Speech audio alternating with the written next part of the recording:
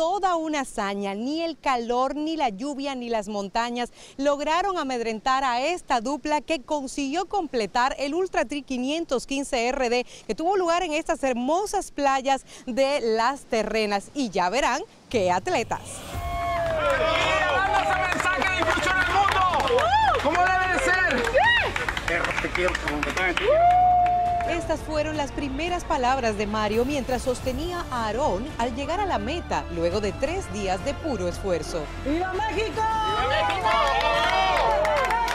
El ultra triatlón es el evento más exigente de ultradistancia. 10 kilómetros de natación, 420 de bicicleta y 84 kilómetros corriendo. El tercer día fue lo que estos héroes hicieron con una única misión.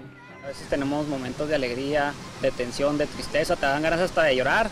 Dices, pues, ¿qué estoy haciendo aquí? O sea, no tengo, no tengo necesidad de estar aquí, yo pudiendo estar en mi casa, pero yo tengo creo que esa misión de dar el mensaje a todas las personas que, que sí se puede. Este es el sexo triatlón de Aarón, un joven cuadripléjico tras un accidente de tránsito que entendió que la actitud es lo que hace la diferencia.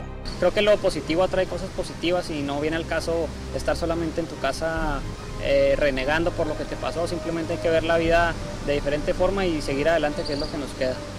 Aaron no se siente nada del cuello hacia abajo, pero se mofa de todo, hasta de él mismo. Por poco caigo en su broma cuando me dice que algo muy raro le estaba pasando. no siento las piernas. ¿No siente la pierna? No, no sé por qué. El efecto del agua o el ahogamiento, el susto, yo creo. Por eso no la siento, se me hace.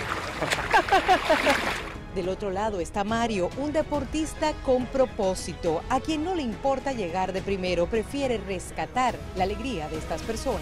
No, es que voy emocionado. Empezamos y a ciertos kilómetros también empecé a llorar otra vez de la emoción de decir, es que estoy yo lo que, eso es lo que yo quiero, a eso es a lo que me quiero dedicar. Aarón llevaba constantemente una sonda, recibió el intenso sol y hasta la lluvia y a pesar de ello daba apoyo a su compañero quien estaba exhausto para que no desfalleciera o desistiera sin llegar al final. Para mí es un compañero, un amigo y, y yo lo veo como alguien igual, o sea, yo no lo veo discapacitado ya imposible nada. Esa es la frase de estos atletas que quieren demostrar al mundo que se puede lograr cualquier cosa que uno se proponga poniendo energía y entusiasmo. No existen registros en la historia de que una dupla como esta con un miembro cuadripléjico haya logrado recorrer 515 kilómetros en solo tres días.